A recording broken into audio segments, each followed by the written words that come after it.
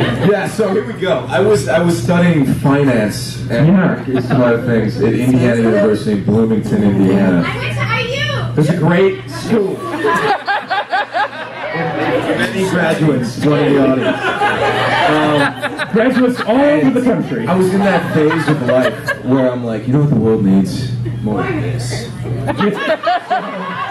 It was bad as a very, it was a sad thing. But anyway, so like, I was at a bar and they were auditioning for Real World. Yeah. This is gonna be like my ticket. This is a, everybody's dream. So you're like 22, and All of a so I auditioned. and I got on the road rules, and then did? yeah, yeah, I was in the That was like a decade ago. Which were you really on it though? Yeah, I was one of the people. God. Which season? Who else was on your road rules? Uh, Abram, It was it was the Tanel. Remember him? I remember Tanel. Yeah, he was that really moody, and he would like go Really moody. have like bratty fits and stuff. Yeah, he would have fits. Yeah, I lived in a little truck with him. so that was that was. So, do you guys still talk or no? Oh like, man, Donnell, Donnell had a rough go. I think, I think like he was in jail like moments after that. And I'm not even kidding. I think that's what happened. Donnell. so hope but he's fine. you were just like you just like uh, studying finance in a bar audition. Yeah. That's not an easy process. There are thousands of people who I mean, audition it's an easy process. It's not like I, I, the, the odds were not for me to get it. The process is just like, hey, find some. You you, you got to get people in like that phase of life where you're like, yeah, me. Everybody needs to see. Like, Did you, have to, did you have to make like a tape of you at home being crazy? yeah, I did such. It was so douchey. It was so. I haven't thought about this process. I think I was like. I think when I started like acting, I I, I I I felt I needed to distance myself from that. Like, Sure. but but yeah, I made a video, and I think I videotaped someone me like interacting with like an average street vendor, or like.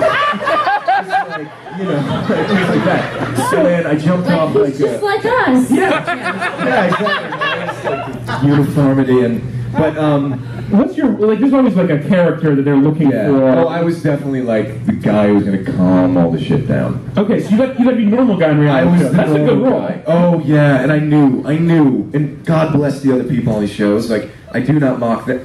These people like really live like there's not a camera on them, and I knew there was a camera on them. so I'm like, thank God, because you know nobody remembers me. Were you there? Let me just ask you. Apparently, Quiet. you. Were you were you there to make friends? Was I there to make friends? I mean, Doesn't everybody have to say at one time on the show, "I'm not here to make friends," or were you actually there? yeah. No, I was like, I was quoted, and this is something I've had to work on since then. Is like, my big tagline was, "I just want people to like me." if that doesn't, that doesn't get my psyche, Aw. you know, nothing else will. Uh, were you were you hoping to get into acting, or you just No, wanted I the world to see more of did, I was from Milwaukee, Wisconsin, and then St. Louis, Missouri. Yeah, Wow. great towns. A lot of graduates in that town. I just this night is just me putting and picking my drink. Okay. Um, but um, there was no sense of like this like entertainment is an option. So I think it was me Oh, wow. expressing some I need something else, but it certainly wasn't necessarily going to be acting, and it didn't. I Oh, didn't wow. want to do like reality TV for the rest of my life, which a lot of people do after that. Yeah, that's a viable career. It turns out. Well, yeah. of some very well. Uh, Yes, a couple of people, is. a couple of people in your season went and get, did Playboy spreads right after. That's right. So there was other, uh, there were options that opened up that maybe they didn't have to. Yeah, it was a lot. How did so? How did you make that jump? Then when did you realize like I did this? TV likes me. Yeah, that wasn't really it. It was like, it was kind of like, okay, I tried something and it worked. That goes down. Yeah, that goes- Um, I tried something that worked. I don't want to do finance. I was like so pumped for full of Ritalin just to like get through finals, and, and there were people who were just like great at all that stuff. I'm like, I can't compete in the world of business. I think I might have like a like a latent want to do this kind of thing. So it took a couple of like depressed years in St. Louis in my mom's basement Post road rules. post road rules, depressed, just like bloated, drinking. It was terrible. And then, uh, And then, then I was just like, I gotta go give it a try. You know, there's, I, I, I- I had something in my head. My grandpa like wanted to be an actor, and his buddy went and did it, and he like became famous in L.A. Oh. Back then, I thought that was like a better way. Now I'm like, well, my grandpa was happy too. Right. But, uh, but he never did it, so I was kind of like, I'm like, I should do it. But you didn't ride the road rules wave. You stopped, hung out in the trough for a Yeah, while, yeah. and then moved to LA when there was no heat on you. That's right. And you still. So how did that happen then? How did? How was? Because that's the story that usually ends in sadness. Yeah, there's still time, Alex. Five seasons, babe. I feel Look at Brantries. You're gonna you're gonna hit 100 episodes. It's good. You don't have to worry about Yeah, anything the rest of your life. Yeah. What's, what, so what was that like? What were your first couple years uh, in LA like? Um, I was like, I had like the business part of my brain, which most of the actors didn't out there. I'm like, must get agent, must. It's like a numbers game. Don't lose focus. I was very focused, Because of the finance. high on Ritalin individual, and and uh, and yeah, it was just like That's grind. I was just auditioning constantly. Well, so you, I, I mentioned in your intro a lot of shows you did, which is it's an impressive resume, Yeah. but it also those are probably not that long of a shoot, and so Those were like, I heard those. I'm like, I was there for like a half hour. I mean, it's, an incredible IMDb page, but it seems there's also probably a lot of downtime between those. Oh like how, god, yeah. How was your confidence level when you do one appearance, then two appearances, then three? Like, at what point did you feel like this is working? I have. Well, you kind of get it's, it's a, they say it's like it's like a, a, a fast yes and a slow no. You know, like it, you can you kind of know when you're like something that they it's easy to book. Uh-huh. It's not necessarily because you're talented. It's just kind of like oh they fit a certain. What was your? T- it seems like a lot of medical shows. Like- what was your? It's like the guy who wants people to like him. Um, like, No, so, like, also- you know, romantic dude. I, I, I it's just I'm just. Oh, okay, say more about that. No, it sounds. Sometimes like a romantic partner. Sometimes like the dicky like lawyer dude. Okay. With a ton of money. You know, just like it fits in a lot of things. But that's not. I mean, that's Yeah. that's good. That's good to have. That's great. I mean, I'm, I'm happy to be working. And and so you're you're you're running along. So then Yeah. Grimm comes along. Yes, it does. Was this the first pilot you were in? No, I've done. I did a couple pilots prior to that. Uh, pilot season is miserable. Uh, do you- does anybody like understand? Does anybody know what that is? So like you have like one. What's that? That was a local reference. Uh, Yes. Points. No, he's talking about. Uh, before that. Uh, so and and you. Yeah, it's, it's like a time of year, it's like a month and a half long in LA, where they're making new TV shows, and like five percent of those ever get picked up a series, and like no percent of those ever turn into anything. So every actor is like waiting for the next pilot season. So if you like don't get one, you have like eleven months. Uh, Yeah, so it's, I mean it's. It's it's hard on the. so when Grimm came along, you were assuming small percent chance of. of Yeah, I knew I was up. like in the mix for things and whatever, but you never know. Like you never know. We also actually like shortly before Grimm were uh, being considered for the role of Superman. Yeah. I've read. Yeah. And what point did Wikipedia made like? more of that than is actually true. Well, but, but even Yeah. your name being mentioned in the conversation, at what point are you like, I'm what people think Superman looks like? I think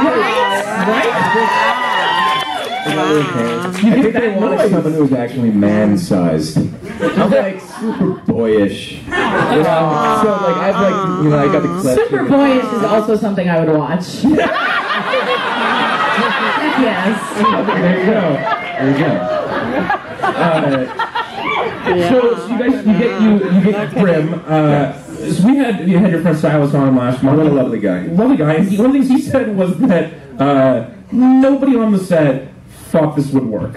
Yeah, well he's like a pet. He's like the, my curmudgeon the- wonderful he meant friend. Yeah. And he's also done like a Yeah, million things. So he totally. like has, knows the grind of Hollywood. Yeah, I mean he's like now like he didn't he knew things I didn't know. Right. You know, I was so just you, like, so you were like, great. oh, okay. But uh Was that your rea- you read the first script and you were like, this is the thing. No, This is gonna I was like, like I, I just, I knew NBC needed stuff, and they were casting a lot of things. So, so I'm like, oh, there's a good chance this can go.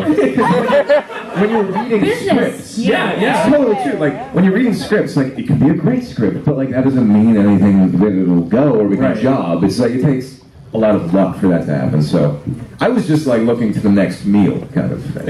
And What was what was the moment then? Because now you're just about to hit. You're in your fifth season. Yeah, we're filming our 100th episode right You're now. filming your hundredth episode, which is yeah, it's great. Thank you. I'm sorry what I do it, but thank you. Like an important magical number in TV shows. Yeah, uh, more so in the past. That's kind of not changed a bit. Yeah, we've been syndicated already. Well, at what point though in the show did it did it dawn on you that this was a success? When did you know like this is working? Oh God, man, I was so buried. Like my days were so long, and I was like so nervous all the time that I didn't What was even the nervousness really. about? What was making you nervous? Well, you get a lot of. It's it's definitely made by committee, and I was I'd never been like the lead of a show on a show that went, and suddenly now like there's a lot of eyes on me, a lot of. Did you feel a lot of that pressure? Oh my God! Like I lost several years of life. And I aged like a wartime president. that first year of the show, it was intense. So but you're like a gray-haired super boyish. exactly, you got me. That is what I am. Uh, I think I think like a couple years in, when I could like actually kind of realize what was happening. I, I realized that oh wow this is this is working and we're gonna keep going. What was the what was the pressure about? What was it like? Do I have like was it I have to do better or like I hope everything think else there was gets lucky? Yeah, I know. I think there was just like a sense of like, oh, it's a team, like millions of people. Like, Yeah. it, I, I was just putting way too much pressure on myself. And there's a huge workload for the lead of a one-hour drama, whatever. It's like boo-boo actor, but uh, yeah, it's like, great life. I'm fine. Yeah. Like, but, uh, but in the beginning, it was you know, man. I was just I was open to hearing everybody's critique. Um, everybody had like things they wanted me to do, like every department. So it was it was tough. I don't want to interrupt but your, your hair is making an S on Yeah, the man. forehead. Yeah, let's- let it just let it be. Into it. I don't know. Thank you. Uh, so, and so you were I like, developed a small muscle. so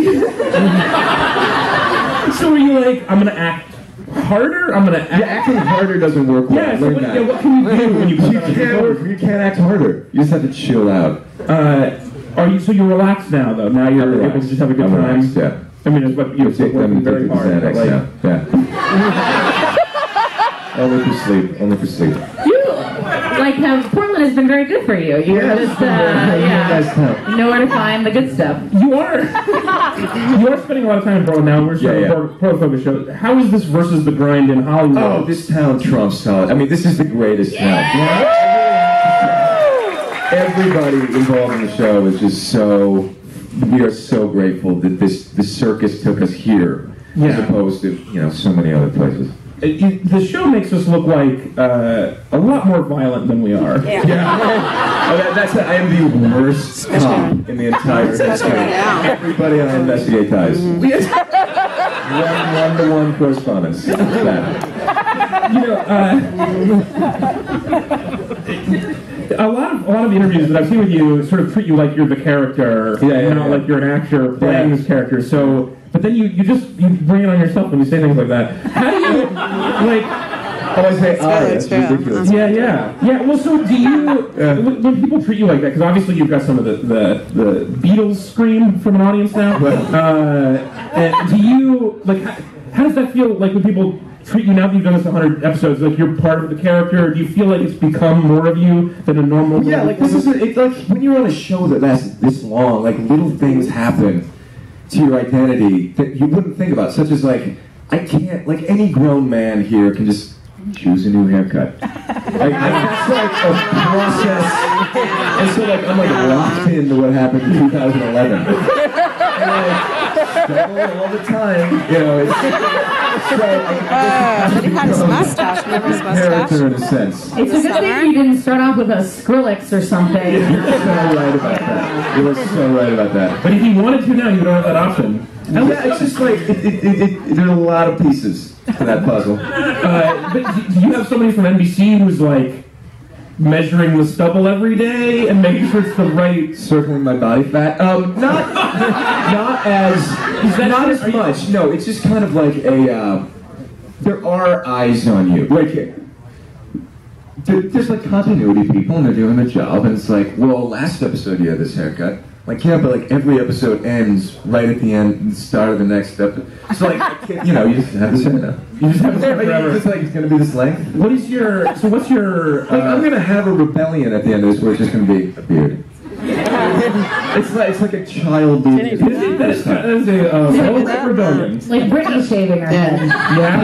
It'll be. Yeah, yeah. Is that, is that something you're having now? You've been doing this and you get people, like people know who you are. Are you like empathizing with Britney now? You really? Oh gosh, I, I mean Britney's. I, I don't even know how to answer that. Okay. She's a close friend, I'm assuming, yeah. Is Britney okay? Yeah, she's great. I knew she had a rough go there for a while. No, she was on The Voice or something. Then she There was you fine. go. Okay, she's made it out. Yeah. So what? So so you're. I didn't know what happened. I remember like a very dark time. Do you? So what do you do now? You like you've got the the show Yeah. is going great, continuing on in perpetuity. But are you now pigeonholed into this character for other jobs? are you going to be seen know- as boyish cop forever? I don't know. Like that's to be seen. I don't think so. I think one of the joys of our show is like it's big enough to keep going, but not, not, I'm not like hugely famous, so I won't get pigeonholed. I just did like a movie this summer where I was like a completely different character. Right? Yeah, yeah. Yeah, Are you? Are you? Is that something you want to do more movies? Is that where you're going? Yeah, I mean, uh, everybody wants to do that. I just Yeah, I do more movies. That's true. Everybody wants to do more movies. Yeah. But I gotta have a mustache, so my rebellion is lived through this mustache. That's I. Your, your dream uh, uh, career is just getting to choose your own hair. Kind of. what place? Uh, well, uh, we are all so happy to have, especially Oh, like in our hometown show. You're a hometown hero, obviously, and we're excited for the show. And thank you for stopping by. I really appreciate it. Ladies and gentlemen,